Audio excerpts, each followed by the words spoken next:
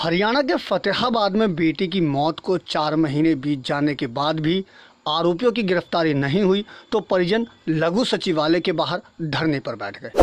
परिजनों ने पुलिस की कार्यप्रणाली पर गंभीर आरोप लगाते हुए मामले को जानबूझकर लटकाने की बात कही। धरने पर बैठे लोगों ने शासन और प्रशासन से आरोपियों की जल्द गिरफ्तारी की मांग की है।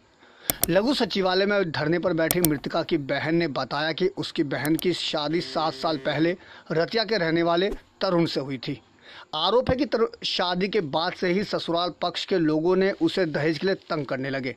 इस दौरान 18 फरवरी को महिला की संदिग्ध परिस्थितियों में मौत हो गई थी।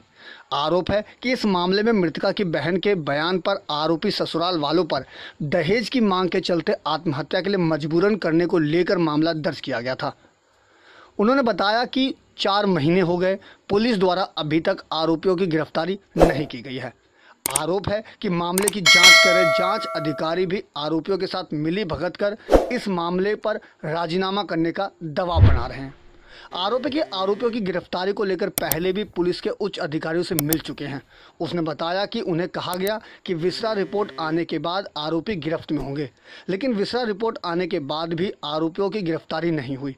कभी थाने तो कभी पुलिस अधिकारियों के चक्कर काटने पड़ रहे हैं।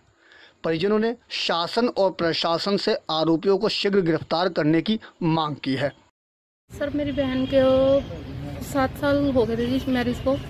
तो सात साल से ससुराल वाले मारपीट कर रहे थे जी रोज बहुत ज़्यादा मारपीट कर रहे थे और इस बार उन्होंने बिल्कुल ही हद कर दिया उसे जहर दे के मार दिया है। और हम बार बार गिरफ्तारी की मांग कर रहे हैं तो हमें कोई भी अभी तक न्याय नहीं मिल रहा है। पुलिस ये बोल रही है जी आपका हो गया जी बयान हम गिरफ़्तार कर लेंगे।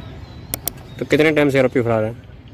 आरोपी तो फ़िलहाल तो चार, चार चार महीने से फरार। देखिए जी आज से सात साल पहले हमारे परिवार की लड़की पूजा का जो शादी जो थी टिब्बा दाना कॉलोनी जो ये रतिया के अंदर है तरुण नामक व्यक्ति के साथ हुई थी जो निरंतर शादी के बाद लगातार उसके परिवार के सदस्य उसकी सास उसकी ननद उसका देवर सभी सदस्य उसे बुरी बेरहमी से पीटने का काम करने करने का काम करते थे।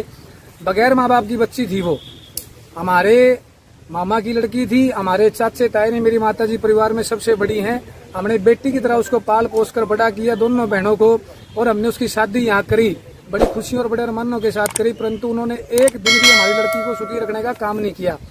कम से कम पचास बार हमारी पारिवारिक पंचायत हो जाया करती, रतिया के मौजूद आदमी भी उसमें आ जाया करते, मना करके, हाथ जोड़ के, पैर जोड़ करके, सब तरीके से वो प्रपंच करके हमारी लड़की को दोबारा ले जाया करते। परंतु 18 दो की रात को उन्होंने जहर दे करके हमारी लड़की को मारने का काम किया है।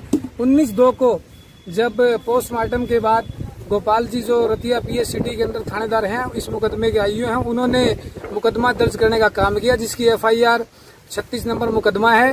परंतु पाँच महीने के दौरान रतिया पुलिस प्रशासन ने एक भी बार उन्हें गिरफ़्तार करने का काम नहीं किया, किसी प्रकार की इन्वेस्टिगेशन करने का काम नहीं किया, और लगातार पाँच महीने से हमें गुमराह किया जा रहा है।